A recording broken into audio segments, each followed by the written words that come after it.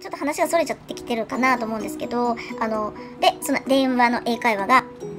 まあ、まだまだちょっとね、あ、今日電話があるな、みたいにちょっと思っちゃうところがあって、で、ふと思ったのが、脳を騙してはどうかと思ったんですよ。例えば今、もうすぐ電話がかかってくるって言って、あ、ちょっと、今日は上手に喋れるかな、とか、うーん、言葉に詰まったら嫌だな、とか、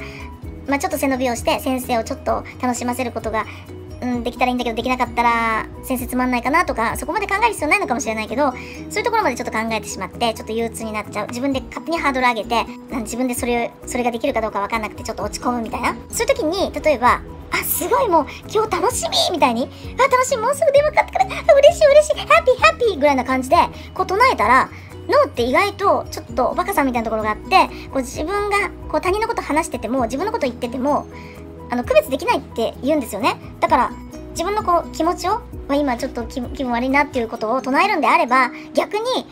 いや今からもう楽しみすっごい楽しみもう嬉しいぐらいな感じで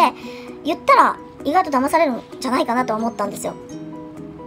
でまあ意識的にねそういうふうに楽しいって自分を騙さなくちゃってのもちょっと無理があるのかなと思うんですけどまあやっぱりだんだんと慣れていって